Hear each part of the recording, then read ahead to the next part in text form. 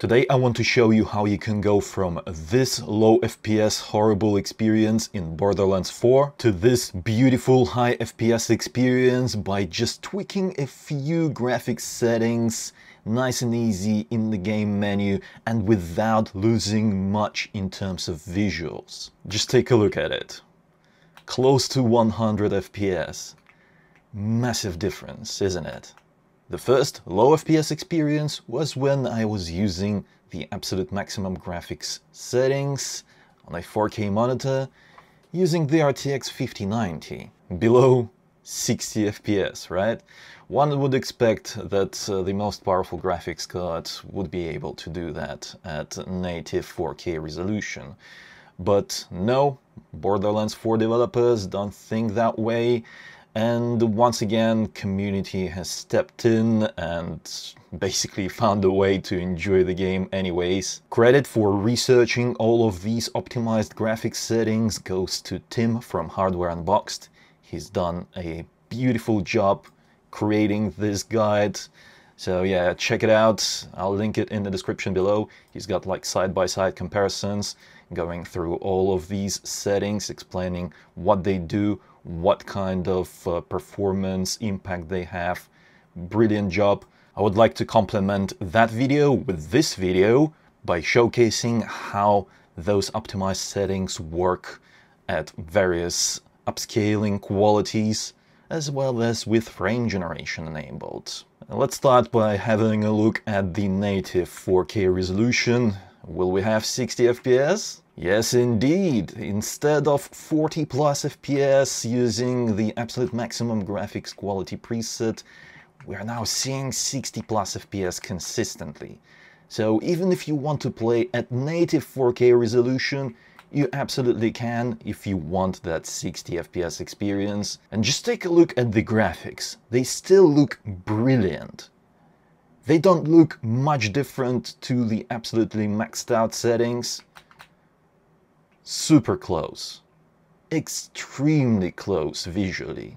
Also, as a strange byproduct of uh, this tweaking, uh, the GPU is actually consuming way less power. 460 watts.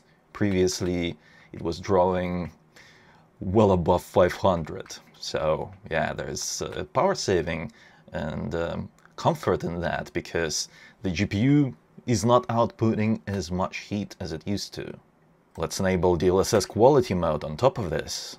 Yes, that's 80 plus FPS experience now. Without losing any significant levels of detail, because DLSS 4 works great on a 4K monitor.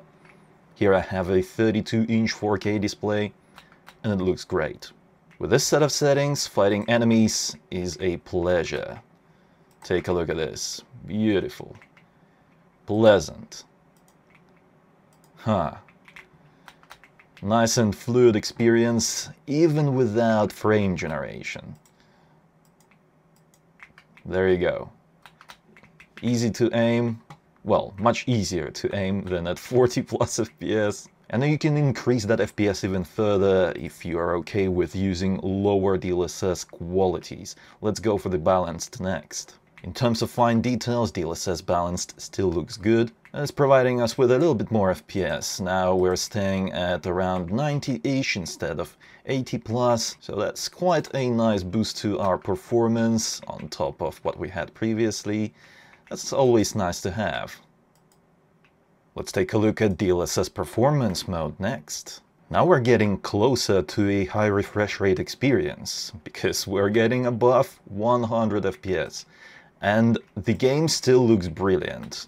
Of course, finer details don't look as crisp and sharp, but this is still visually looking very good. Minimum visual issues introduced by DLSS, and the image fluidity is perfect because we're getting above 100 FPS. And this is without frame generation and the graphics still look amazing. Very close to maxed out. And the GPU power consumption is once again lowered. Yeah, that's the way it goes sometimes when you use DLSS. You're getting lower power consumption, which is quite nice actually. It doesn't get as hot in the room while I'm using the RTX 5090. And now let's add frame generation on top of this, starting with the 2x mode. To monitor this, I enabled the Steam overlay. That is great because it shows our real FPS as well as generated frames. FG means frame generation. It is helpful to see this information because I really want to know like how many real frames are we getting right now. Frame generation does increase latency, which means real FPS is lower. And indeed it is lower because previously we've had something like 110, 100 plus FPS and now we're getting 80 to 90 plus FPS. That is quite significantly lower, but the overall frame rate is higher. And the mouse responsiveness is fine, it's not a problem, still quite responsive, because the FPS is still pretty high. 80 plus, it feels good. I moved the FPS counter over here for easier tracking, and let's take a look at the 4x frame generation. Generating additional frames consumes a little bit more FPS, I'm talking about real FPS, and now we went from something like 80 to 90 FPS to 70 to 80 plus FPS see that's 79, 78 FPS. So the real frame rate is a little bit lower, but our overall generated frames are above 300 a lot of times. That makes the image on the screen extremely fluid. But the responsiveness of controls is worse. I'm talking about the mouse, of course how we interact with it. Uh, it's um, getting a little bit more difficult to aim properly. It's uh, not as comfortable, but it's still good enough to actually enjoy the game properly.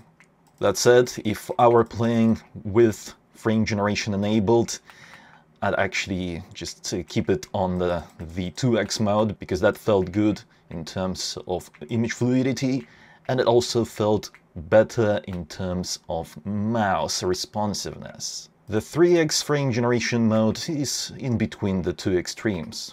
Actually, it makes more sense on this monitor because our real FPS is slightly higher than what we had previously with the 4x frame generation and um, generated frames are close to 240 and that perfectly lines up with the 240 Hz display that this monitor has. Now let's increase DLSS quality to balanced and go back to the 2x frame generation. This is still a nice experience, but our real FPS is now in the 70 to 80 plus range and generated frames are about 160 with this set of settings it is still easy to aim and land shots single shots accurate shots pretty good. I like it.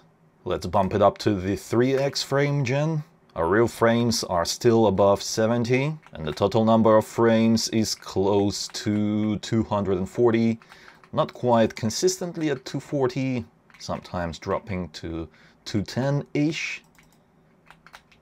And it is still quite easy to aim. The mouse is still responsive. I can point it exactly where I want it to be. Moving on to DLSS quality mode and back to frame generation 2x. This is still an okay experience. Total number of frames is still well at above 120, 150 to 140-ish actually. So that's nice. Feels nice and fluid. Where are the enemies at? There we go. Another headshot right there. And boom, you're dead too. Decent experience, but what if we want more frames? Let's use the 3x frame generation. The frame rate is quite a bit higher now, around 200 plus FPS. Yeah.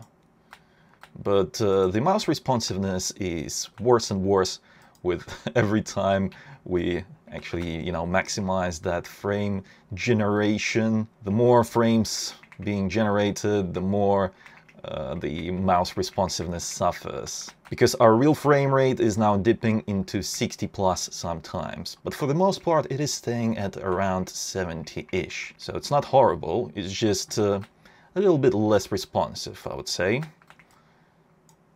Oh, the big guy. Let's go. I love my new sniper rifle. It is extra powerful because it can just charge up to five shots on this thing. It's just mad. 3300 damage instead of a single shot which lands us what? Let's see, 461 damage, which is quite a lot for my current level. Let's do the 4x frame generation. That dropped our real frames to 60 plus quite consistently. So it is lower, but generated frames are now staying at uh, well above 240, which is what you want to see if you want to max out your 240 Hz monitor. I can't say that this is a horrible experience. This is still okay in terms of image fluidity and mouse controls. I still feel the mouse quite well, but uh, not quite as well as uh, with previous frame rates. Because, yeah, uh, once you get used to having high frame rates and uh, low latency as a result of that, uh, it's um, getting more difficult to actually, you know, aim precisely with lower frame rates. So, nah this, um, this set of settings is not for me. It's great to have high frame rate, and if you're that set on, you know, having higher image clarity, then this is the kind of settings that you can use. But personally, I prefer higher frame rates. And I'm talking about real frames for actual benefits to the controls latency. I guess. Let's also check out the performance with frame generation at native 4K resolution. So that's native 4K 2x frame gen. Our real frame rate is now at 50 plus FPS and uh, this is something that I definitely don't like. It's um, getting harder and harder to aim properly. Uh, yeah, the, the, mouse movements just feel weird to me, especially after experiencing beautiful, beautiful higher refresh rate experiences with higher frame rates previously. Uh, yeah, it's uh, it'll take some getting used to, that is for sure. This is something that you can adapt to, but why bother if you can have higher frame rates to begin with? By sacrificing just a little bit of uh, fine detail clarity I'm talking about using DLSS resolution upscaling, of course. For a complete picture, let's take a look at uh, the rest of the frame generation modes, 3x. The frame rate is higher, 150 to 160, but our real frames are in the 50s. 55, 59, and uh, the mouse feels even less responsive. That doesn't feel good at all. Oh my god, a big guy. Boom. Be gone. Oh, oh, that's a black hole. I'm getting sucked in. Oh, I've seen 48 FPS just then, so yeah, there's... this is uh, not pleasant. I, I don't like this. I can still play the game and I can still kind of aim somewhat properly, but it just doesn't feel good. And lastly, the 4x frame generation. Yeah, the overall frame rate is now again above 200, but the real frames are 50-ish, 48. So basically we're now dropping below 50 more frequently, which reduces our mouse responsiveness even further. Not pleasant. I do not recommend. And there you have it. I hope you enjoyed this video and I hope this will help you improve your Borderlands 4 experience because it truly transformed my experience in this game This set of optimized settings is just brilliant. Let me know if you want to see a similar video showcasing other GPUs that I have in my arsenal. And if you enjoyed this video, then don't forget to reward my work with a like. It helps me out greatly, it boosts the channel, and it boosts my will to make more videos. Furthermore, subscribe for more videos like this if you haven't already. It was I, Vadim. Until next time.